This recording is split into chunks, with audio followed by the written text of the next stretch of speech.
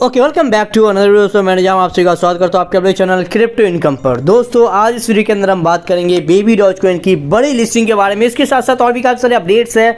Market का भी काफ़ी सारे अपडेट है। मेक श्योर वीडियो ज़रूर रहते देखिए। आप बार चैनल पर आए सब्सक्राइब करके नोटिफिकेशन बिल करके टेलीग्राम की चैनल मस्ट ऑडियो फॉलो करना। सभी का लिंक आपको डिस्क्रिप्शन में मिल जाएगा। BTC फिर से चौवालीस पार हो चुका है। जहाँ दोस्तों मार्केट थोड़ा सा करेक्शन मोड में है। ऑलरेडी आपको पता है कि भाई इतना ज़्यादा पंप के बाद थोड़ा सा करेक्शन तो बनता है। पंद्रह अगर मिनट के चार्ट में देखोगे थोड़ा सा पंप एंड डम देखेगा, लेकिन अगर वन आवर के चार्ट में देखोगे पंप ही पंप दिखेगा। वन डे के चार्ट में देखोगे, और ज़्यादा पंप आपको देखने को मिलेगा। टू एक्स लगभग यहाँ से आपको देखने को मिलेगा, जो कि काफ़ी ज़्यादा अमेजिंग है भाई। BTC ने पंप किया इथेरियम तो ऑलरेडी आपको पता है कि भाई ये करेगा ही करेगा। जितने भी अल्ट है, करेगा ही करेगा। बिट्टो रेंट भाई, छप्पर फाड़ के हमें प्रॉफिट दिया है नो डाउट किशु भी अभी अच्छा खासा पंप कर रहा है बाईस परसेंट से, अकिता नौ परसेंट से, रारी आठ परसेंट से, जो भी हमारे पोर्टफोलियो के अंदर है, सब क्वाइन एक के बाद एक यहाँ पर बुलिश होते जा रहे हैं, एक के बाद एक हमें प्रॉफिट देते जा रहे हैं। जो कि काफ़ी ज़्यादा अमेजिंग है। और यही बेनिफिट है दोस्तों, कल रात में हमने प्लानट का जो है दोस्तों कॉल आपसे शेयर किया था। जहाँ दोस्तों, मैंने खुद भी बाय किया है। आपको भी सजेस्ट किया है, लेकिन इसको बाय भाई लॉन्ग टर्म के लिए करना काफ़ी अच्छा खासा प्रॉफिट देगा बिकॉज़ ऑफ़ काफ़ी बड़ी बड़ी न्यूज़ है। डेडिकेटेड वीडियो मैं बहुत जल्दी आपको इससे रिलेटेड बना दूँगा। वैसे मेरे चैनल पर है एक वीडियो लेकिन और मैं एक्सप्लेन करके किस तरह से मेर्सी का इससे रिलेट किया जा रहा है। मैं वीडियो बहुत जल्दी आप सबके लिए बनाऊँगा, लेकिन इसको बाय ज़रूर करके अपने पोर्टफोलियो के अंदर ऐड कर लीजिएगा। जहाँ दोस्तों, यहीं पर अगर हम बात करते हैं, भाई और भी काफ़ी सारे क्वाइंस है जो कि काफ़ी अच्छा हमें प्रॉफिट दिया है। जहाँ दोस्तों बेबी रॉज कॉइन भी सोलह के आंकड़ा को ऑलमोस्ट कई बार टच किया, सोलह सत्रह के अराउंड अराउंड गया, आया।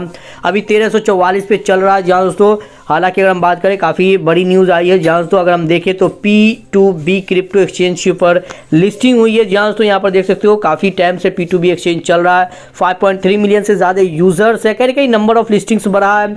नंबर ऑफ़ यूज़र्स यहाँ पर कहीं कहीं आएँगे, कोई बड़ा अगर हम बोल तो हाइब्ड एक्सचेंज तो नहीं है, लेकिन फिर भी ठीक ठाक है, कहीं ना कहीं नंबर ऑफ़ लिस्टिंग्स बढ़ा है दोस्तों। और इसके साथ साथ ए इमेज जनरेटर भी अब ईद के ऊपर ऑलरेडी काम कर रहा है। स्मूथली काम कर रहा है अच्छा खासा काम कर रहा है, जो कि काफ़ी ज़्यादा अमेजिंग है। तो जो कि ऑलरेडी आपको पता है कि यार कितना अच्छा खासा हो रहा है डेली बेसिस पे बर्निंग हो रहा है। अगर हम देखें तो मैनुअल बर्निंग हो रहा है ऑटोमेटिकली बर्निंग हो रहा है ट्रेंडिंग होता जा रहा है बीबी कॉइन फिर ना, फिर कहीं ना कहीं दोस्तों हाई बनता हुआ जा रहा है तो हमारा पोर्टफोलियो एक अच्छा खासा दिख रहा है। है ना, अभी तेरह के ऊपर है, लेकिन बाय मत करना यार, हज़ार ग्यारह सौ के ऊपर हमारी बाइंग ऑलरेडी है ही। तो अभी बाय करने का तो कोई तुक बनता नहीं है, बस हमें होल्ड करके अभी रखना है। अगर ये आई थिंक चल गया हाइप आ गया तो मुझे लगता है बीस पच्चीस के अराउंड भी ये जा सकता है।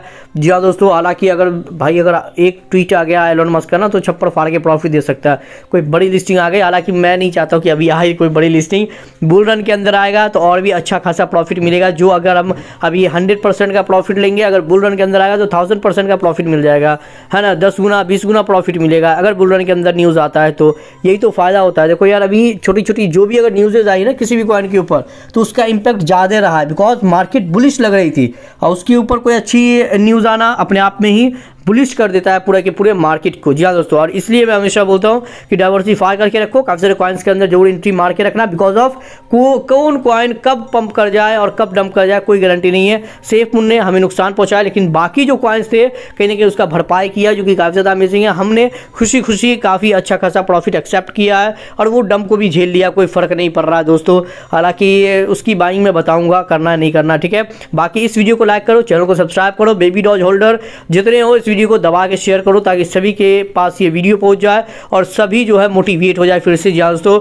बाकी बस लाइक करते जाना, ठीक है? मतलब नेक्स्ट बार की तरह गुड बाय